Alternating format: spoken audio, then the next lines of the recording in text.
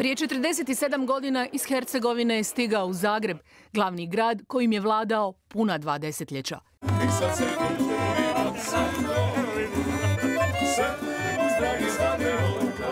Diplomirao je politologiju na Fakultetu političkih znanosti. Odslužio vojni rok.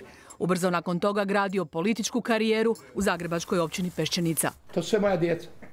Prije 90. prije 40, prije 50. bi rekli Skojevci, a poslije 90. mladež. I u SDP-u. Sredinom 90-ih postaje gradski vječnik. 2000. prvi je put izabran za gradonačelnika. Ali tek što je ušao na velika vrata, podnosi ostavku. Pod utjecajem alkohola izazvao je prometnu nesreću, pokušao podmititi policajca koji ga prijavljuje. Mijenja ga Vlasta Pavić. Kratko je poljuljan, ali stranci je ipak važan. Na prvim sljedećim izborima 2005. i s listom SDP-a opet pobjeđuje. Nakon smrti Ivice Račana želi preuzeti vodstvo SDP-a. Ne polazi mu to za rukom. Izbačen je iz stranke, razilazi se sa Zoranom Milanovićem. Iste godine potvrđuje gradonačelnički mandat. I objavljuje ulazi i u predsjedničku utrku. Neće biti predsjednik na daljinski upravljač Zorana Milanovića. Na ovaj. Gubi od Ive Josipovića, ali na parlamentarnim izborima doživljava fijasko.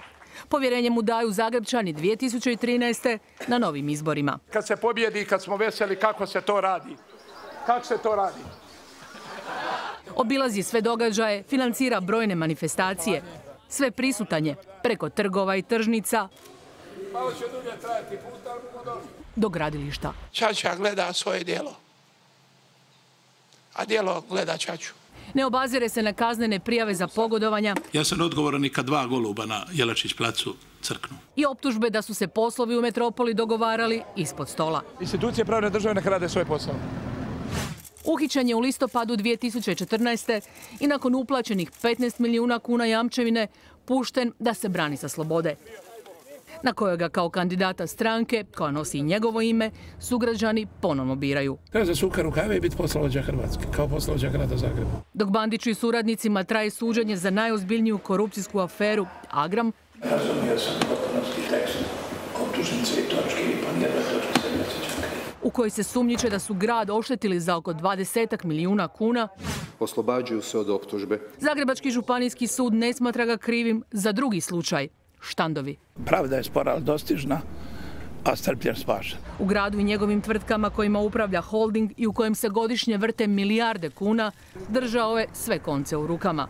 Ali HDZ-ovu većinu na lokalnoj i nacionalnoj razini.